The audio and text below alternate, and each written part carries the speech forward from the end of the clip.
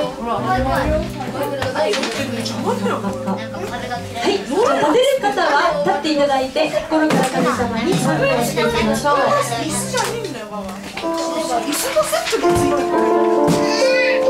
る。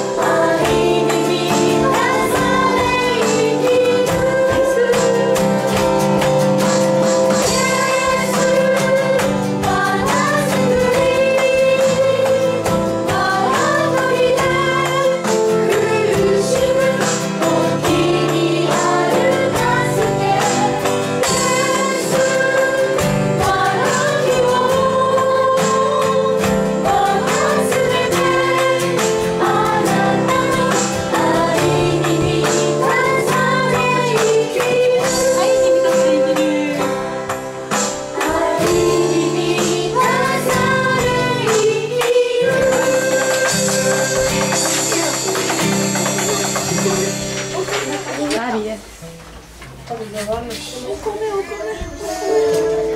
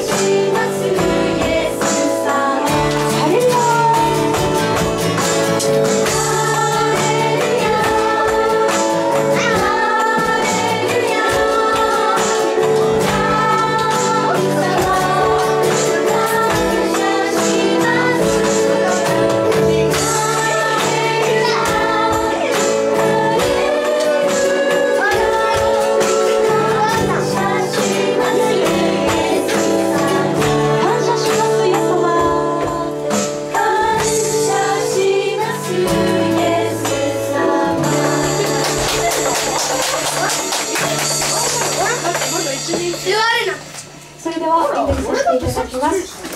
愛する天のお父様愛する主様ここまでの賛美また先ほどの特別賛美の一つ一つをありがとうございます。この後清近さんでは紙芝居また小学生クラスでは、えー、メッセージの時を持っていきますけれどもそれぞれ神様が豊かに祝福してください。神様のことが神様の御言葉がよくわかるように神様助けてください。お願いいたします。これからの時も神様に委ね期待いたします。感謝してイエス様の尊いお名前によってお祈りします。どうぞお座り